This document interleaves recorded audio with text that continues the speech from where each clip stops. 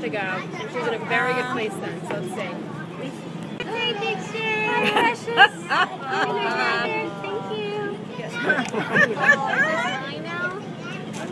Thank you. Yes.